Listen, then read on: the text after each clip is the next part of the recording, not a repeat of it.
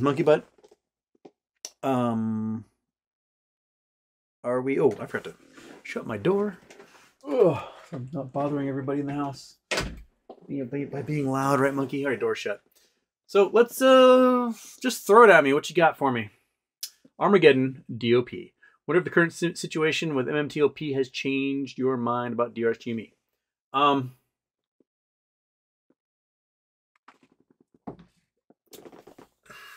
has it changed my mind? I mean, I'm still not registered with AST because there's no room. uh, I'm still waiting for uh, Fidelity to, you know, figure out what's going on. Uh, they've changed the CUSIP like twice in my Fidelity account, so I'm not really sure what that what that entails, what that means, because there shouldn't be a CUSIP at all if it's going private. Um,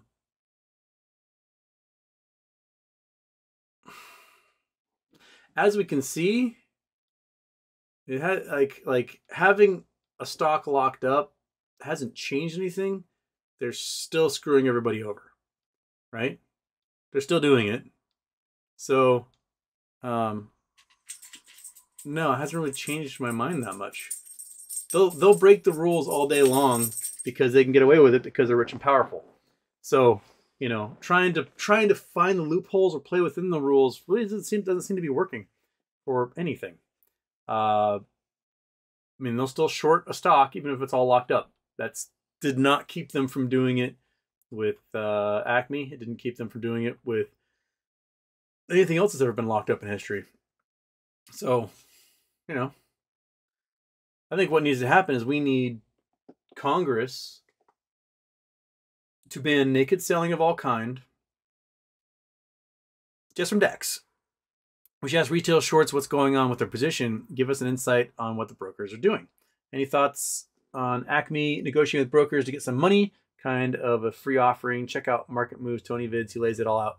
I've seen those videos. I mean, I can't say it's it's not a possibility that they would issue 335 million shares at a discount for shorts to to cover or something. But personally, if you've been the victim of short hedge funds for as long as these companies have, uh, why would you want to give them an out, right? Even if it like benefits you in the short term and nets you, you know, I don't know, thirty billion dollars or whatever it is, three billion dollars. I don't know how much it would make them. Um, why why would you want to give them the out so they can just do this to you and any other companies you're associated with in the future? Personally, at this point, I would expect every executive at any of these companies to be like, you know what? Screw this. Let's take some heads. Let us demand that they register the 165 million shares and they close any positions outside of that. And if they don't, court, court, court, court, court, court, court until they do. And it'll blow up these hedge funds. Because that's like we're not going to be able to line them up and and and take them out with anti aircraft guns against the bulkhead. You know, that's that's not going to happen. But what we can do is we can hurt them so much in the pocketbook that they can never do this again. And then it hurts so much in the general market because these banks will just be just imploding as a result of paying out the liabilities that the banks are going to insist on laws to keep this from happening. And if we destroy some market makers in the process, any market makers that survive through this are going to beg that we have regulations in place to keep them from ever doing that again. it's going to be so painful for them to close out these positions that that you know they're going to beg for the regulations to make sure that their little underlings aren't screwing them over or that some algorithm on a computer somewhere. I mean, we, we can see on Fintel how many shares are still available to borrow and are being borrowed even when the stock doesn't exist anymore. Something like 65,000 shares were borrowed today. The stock doesn't exist. How are you borrowing shares? right? Like, this is the algos going nuts. These are computers and not people doing all the work. And we need laws in place to basically keep these computers from doing that doing that work. So it is it does fall on people. This this, you know, high frequency trading crap has got to go. It is straight up manipulation is what it is.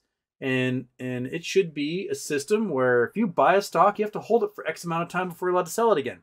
Simply to slow the entire system down. So that people pay more attention to the fundamentals of the play than hoping for arbitrage across the system and making quick bucks with not contributing anything to society in the process. Uh, it, it's our entire stock market is built upon loopholes, and that's dumb. like, you know, everything is a loophole, and the loopholes can only be exploited by the super rich because they have access to these trading computers and these high frequency trades and payment for order flow systems and dark pools and swaps and all this other stuff that because they have a leg up on everyone else they've designed a system of loopholes to screw you in the process and everything they do is designed to take your money from you and devalue any investment you have so why why even have a why why even let retail participate if the only point of retail is to suck money out of our pockets and put it in the pockets of a bunch of rich assholes who are using crazy loopholes. Like I I I think there should be precedent, legal precedent against loopholes. Meaning if you're exploiting a loophole that goes against the spirit of the law, you're breaking the law. I think it's pretty simple. So if Reg SHO, Reg SHO says you cannot naked short, it's against the law but you can FTD. Wait, isn't that just naked shorting? Like, that violates the spirit of the law, correct? So why are people allowed to do that? Just because you called it something else doesn't change what it is. You naked shorted. You sold a share that doesn't exist. And now you're just not making good on that deal. Cool. Uh, you broke the law. You just you just called it something else, and that's your loophole. And then when it gets time, gets time to like actually making good, you go, you know what? I'm just going to trade this liability to someone else and then forget about it. Oh, well, no one cares anymore. It's going to go to obligations warehouse and sit there forever, and nothing's ever going to be taken care of. And you know the value of this company has disappeared forever. You know, John Brda made it made a really good point that you know a small cap company needs to raise funds right? They, they, they need to sell stock to raise money to drill holes in the ground, to put in infrastructure, you know, hire employees, whatever. And that and that the shorts sell a bunch of shares that don't exist, right? And then they wait for that company to offer shares on the market to raise capital. And then they're the ones who buy it up at a discount because there's always so many shares out there because they diluted it already. And then they use that to cover whatever short position they had.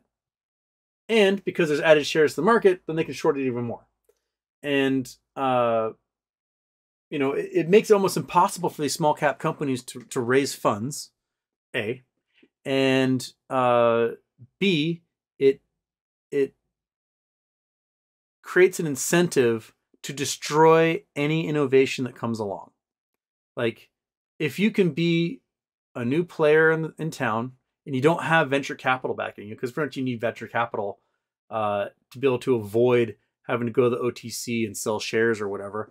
You don't have like, you know, $300 million in backing so you can survive for 10 years until you have a giant product out there and then you IPO, you're screwed. So there needs to be a system in place that A, eliminates the naked shorting and punishes you ruthlessly if you FTD of any kind. If if it gets to T plus two and you haven't delivered a share, you lose your bro- you lose your trading license. Your broker gets fined 150% for every day that that share isn't cleared. Something like that. And and uh, B, there should be a ledger of every short position ever taken of any kind by anyone. And it should exist until that position is closed. So we can see long positions. You're required to file for long positions. So if if if if you know a, a, fund goes long on somebody, we see it. We see exactly how many shares they had when they purchased, how long it's been. This should be the same thing for short positions. And what that will tell us is it will show these hundreds of family funds and hedge funds are all playing the exact same plays to the point of you know, 100x of whatever the actual shares are that are out there, I bet that's that's probably where we are in these shorts. Um, since October of last year, Acme had two point something billion shares trade hands. Two billion? Are you kidding me? Especially when 65,000 holders are just buying and holding. How are you moving 2 billion shares? Monkey, how are they moving 2 billion shares? Tell me. That's a good burp. Yeah, uh, that's exactly how they're doing it. They burp it out of their face.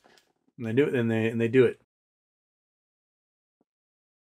Just in my head, legally, when they do have to make a decision, what do they do with all our synthetics? My guess is what they wanted to do was give them a CUSIP and shove them off into the obligations warehouse where they'll be forgotten about forever. And then they try to torpedo any deal NextBridge has at making money. Therefore, they don't have to pay out uh, through PILs to us.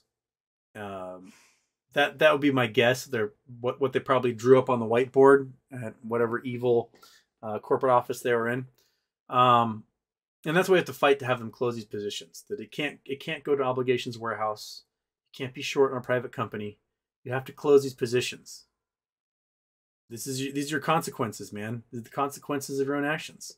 So face those consequences. You accepted infinite risk as a possibility. Tough shit. If you have an entire economy that's based upon lending margin to hedge funds so they can short things, then those prime brokers are taking on the risk of uh, taking on infinite risk as a possibility. So everywhere along the line, er, there is implied infinite risk in every step along the way. And when they finally face it, they go, "Oh no, we can't do that." Well, tough shit. Who cares? You did it. That's you. Accept it.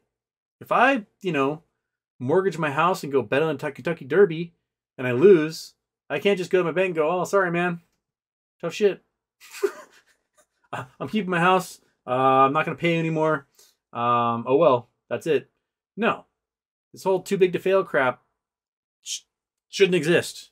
If everything's too big to fail, then you make them smaller. That's what antitrust is about. You use antitrust laws and you make these things a lot smaller. You slow down trading so that so much money isn't trading hands anymore. And you let these firms vaporize. So there's fewer of them. It's smaller and fewer of them should probably be what, what we have. With the banks, smaller and more of them is what we should have. So. Ah. Ah. Anger is a fist.